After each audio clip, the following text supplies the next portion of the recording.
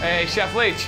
Alex, come on in. How you doing? All right. Survive uh, Chef Neil out there? I survived. You all right? Yes. Okay. Yes. How can I help you? We're gonna make the chocolate espresso cube. We're gonna make it in that box that we picked up. Right. Okay, but what we're gonna do is we're gonna paint the inside of this. And I have two chocolates that we're gonna do it with. First, we're gonna do it with a white chocolate with brush strokes. We're gonna cover it up with a uh, dark chocolate. So when it comes out, you're gonna see mostly dark with just a couple of brush strokes of white on it. Okay. So let's take the brush, and we're gonna do a couple of brush strokes. I'll show you one. You can do the rest. Just coat a little bit on the inside. Any decoration will work here. I mean, you could you could write on the inside of the thing if you could. Any what I want? Any way you want. Put a little bit on top if you'd like. Sure, There sure. we go. I'll leave a little bit of space. You want to see a little bit of dark when it comes through too. Absolutely. That's going to set up and solidify a little bit. And once that's uh-huh. solidified, then we put the second layer of chocolate on, which is going to be dark chocolate. Okay. Now our chocolate, our white should be set. Let's just check it out. Yeah, it feels a little solid in there, right? Yeah. Ready for a second layer. Ready to go. Just want to dip in here. Now you want to make this one thin. You want this dessert really thin so when people eat it, they don't need like a sledgehammer to get through it. So you want to paint it and pull a lot of that chocolate out. Really get into those corners. And you can see there. You see the light through the chocolate? It means Yeah. it's got to be thin, right? Okay. Yeah. You almost you can see the it. white on the edge too. Perfect. Yeah. Nice and thin. Now I'm interested to see how we're actually going to get this out of the box. It's going to come right off. If the temperature's right the chocolate, it's going to contract right away from the sides. The thing is you have to have clean plastic. And you're just going to give it a couple of jigs. And all goes right, it comes right out. We're going to let those set up. Once those solidify, now we're going to fill them with a mousse. Okay. What we're going to make is a uh, espresso chocolate mousse. Okay? Yes, what I did here is I melted a couple things ahead. I've got the milk chocolate, the dark chocolate, some butter, milk, and espresso. We're going to grate a little bit of orange in here. Just a little bit. Doesn't take much. Just want a What's little that? bit Just of to orange cut flavor. the flavor a little bit, give it a little citrus. Yeah, a little accent to it. I mean, especially with the milk chocolate, it really helps. What you're going to do is you're going to take a couple of yolks for me, Okay. and you're going to whisk those up with a little bit of sugar. I Have no problem doing that.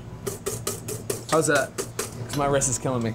Oh, no, keep going. Keep going. On now. All right, I got some mercy. You look good. Is that good? Yeah, that's it. Okay. Good. We're going to take that and we're going to scrape it into here. And once we get all that in, we just take that whisk back in there again, kind of fold it up a little bit. Let's get all that. And the last thing we're going to add is that little dice of uh, devil's food cake that I have. Right. Which is nice when you kind of cut open this cube, you're going to have a creamy mousse in there plus a little bit of cake.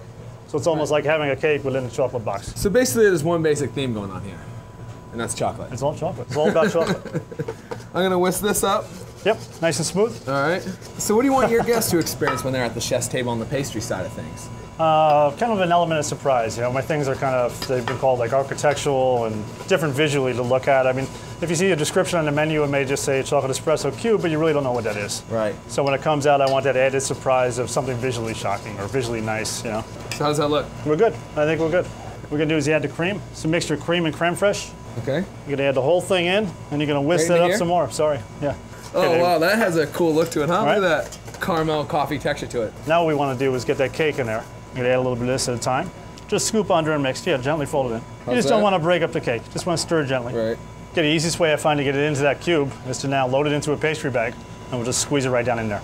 I'll hold, you pour. All right? All right. Yeah, you want to fill your bag about halfway. You don't want to overfill your bag. I mean, it'd just be hard to handle. Okay. Take a box. Take two boxes. Even better. Put them down. What we're gonna do is fill it up, We get each all the way our down own, there. you know, chef? That's right, one for me. I've had enough.